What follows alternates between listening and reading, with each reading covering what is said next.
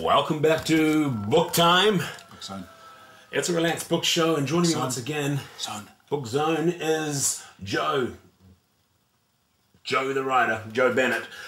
Uh, what makes a good bookshelf? I would say um, one that supports books satisfactorily. Not an awful lot more required of a bookshelf, in my opinion, but I'm, I'm prepared to learn. Joe Shaw, it's a simplistic look at it that uh, a bookshelf is merely a bookshelf, but I would argue that a bookshelf can say a lot about you as a person, as a writer, as a reader. For example, I'm going to show the viewers how they can perhaps um, build their own bookshelf. Using Wood. Wood. horizontally.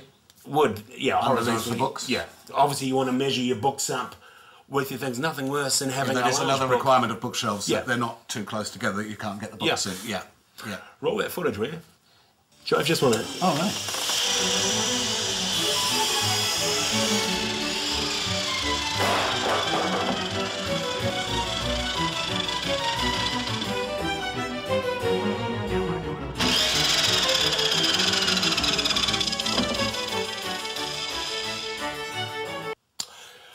Thanks for that, Terry. Fantastic. It's a bookshelf, Joe. Well done. Um.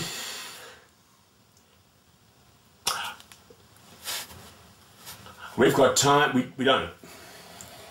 Join us after the break on Book Time. I'll be talking to Joe about books, bookshelves, and a couple more surprises for you.